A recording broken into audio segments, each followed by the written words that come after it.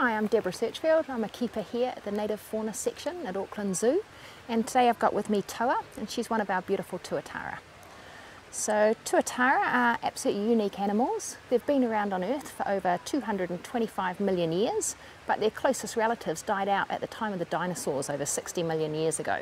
So when scientists first discovered them, they thought of course that they were lizards, but it wasn't long before they realised that there's quite important differences between tuatara and lizards. So much so that they've put them as the only species in their order of reptiles.